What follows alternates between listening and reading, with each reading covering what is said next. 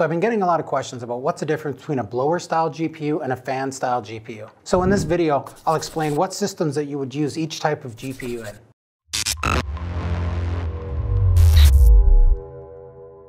Hi everyone, I'm Mike from the Media Man Studio Review. And on our channel, we like to bridge that gap between the creative content and the technical requirements. And in this video, we'll be looking at the different types of GPUs. So not the different models as in RTX 3080s, 3090s, but the different form factors and what sort of situation or system that you would use each in. So I thought we'd start off with your typical fan design.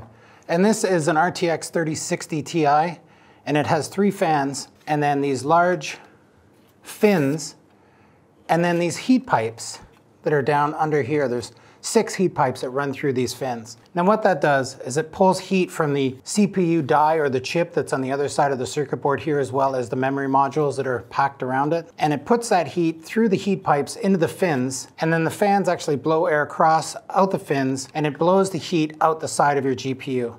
Some of them do have some vents in the front so it's blowing some of the heat here, but most of that heat is dissipated into your case. So that heat is just being pushed off the GPU and expecting other fans in your case to be able to push that heat out of your computer case itself. So it's very important if you have a really powerful or a very hot running GPU that you're running some case fans enough to pull that heat out of the case and then an intake fan to bring some cool air into the case. So these, of course, is your standard design. People have been using these for years and years. Uh, but the big problem with that is they're very large. So this one here takes up two and a half PCIe slots. So if I wanted to stack multiple cards together, I would need a lot of computer space, as well as how do we get air into the cards itself and dissipate that heat out the fins on the side. So this is an RTX 3080, and you'll notice that it's a little smaller than the RTX 3060 Ti, but this Ti is an overclock model, so it runs extremely hot. So it's the same design. We have three fans, and you can see the heat fins underneath the fans, and it blows air out the side. Right in here, there's some copper heat pipes that pull that heat from the die that's sitting right about here on this GPU. It does have a vent in the front, so some air is being pushed out, but most of the heat from a GPU like this is being pushed out the sides of the GPU and into your computer case itself. So those are two fan style GPUs. This here is a blower style GPU. It's a little bit thinner. It's only using two PCIe slots. It does have no vents on the side whatsoever. And this is a turbo edition Gigabyte RTX 3090, and the turbo meaning that it's pulling air in and blowing it across the card and across all the, the cooling mechanism that's here and blowing all of the heat outside of your computer case. Um, but be known that these are actually louder. These fans spin up to about three or 4,000 RPMs, where a fan on a three fan system like this might only spin up to about 2,000 RPMs each. So it's a much quieter GPU than a blower style. Blower style only has the one turbo-like fan, so, and that's why they're called a blower style. It sucks air in and blows the air out. And then we have an RTX 5000, an older, let's say last generation card, but this has the same design. So you'll see no openings in the side of the case whatsoever. It's blowing all of the air out the back of the GPU. So now why would you use a blower style card? The blower style cards are a little thinner and you can see that you can actually stack them in your system fairly close together. So as long as there's enough gap between them to allow air to come in and enter the card and blow out the back, it's not a problem. If you get them too close together, of course, you're blocking off that air vent.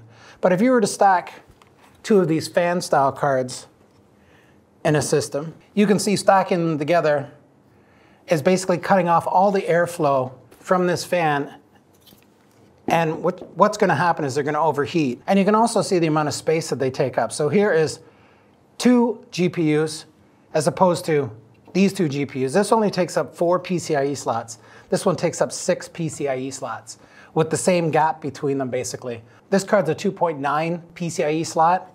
So the gap between them would be you know, a little wider than normal, but it's still fairly close and you're choking off these fans. So you might not find these turbo or fan style GPUs on the market anymore. A rumor has it that NVIDIA quietly asked all its partners to stop making this type of GPU and concentrate only on the fan style GPUs because NVIDIA didn't want companies and individuals to use these style cards and servers. They want you to buy the Quadro or the you know, the A6000 lineup of GPUs because those are workstation GPUs. They're much more expensive. And you know, if you've watched some of my other videos, this Quadro 5000 card is about comparable to this RTX 3060 card as far as performance goes, at least in the creative 3D uh, environment. Right now, most of us are basically using the RTX cards if we can get our hands on them, the RTX 3000 cards. But what if I wanted to use multiple GPUs? And again, it becomes very difficult when you're using these fan style cards in your workstation and having them too close together. They're going to overheat unless you have a lot of airflow moving through that case. So I hope that helps explain a little bit of what's the difference between a fan style card and a blower style card and where you would use these and what kind of system or what kind of you know situation would you use the two different cards. Again, the, the blower style cards will work in any workstation just as well as the fan style cards, except these are going to be louder. But if you're going to use multiple GPUs, you definitely want to find a blower style card so that you can stack those in your workstation.